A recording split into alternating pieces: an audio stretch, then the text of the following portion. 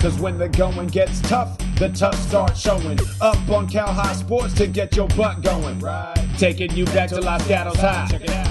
This Wildcat's back on track like spare tires. Adding mileage to his stat is Garret Zeiter. Now at 2,053 yards and averaging 7.9 per carry. He knows the grass is green on the other side of the scrimmage line. He's in his prime with 176 yards to win this time. Like a prize fighter, CCS highlighter. If you can't see that, open your eyes wider. Then take a breath, smell the success like fresh coffee. For Monte Vista quarterback Jeff Lockie. The Battle of Danville had fans at a standstill against San Ramon's comeback. He kept the stands chill with over 300 yards and two TDs into the playoffs. They not gonna lose seeding. The NCS honors this Mustang for how he sustains his boys with poise in this tough game.